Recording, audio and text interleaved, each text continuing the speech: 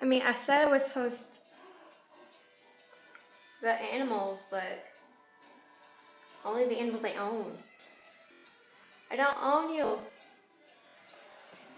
Where do you come from? Why are you here? God. Satan, be gone.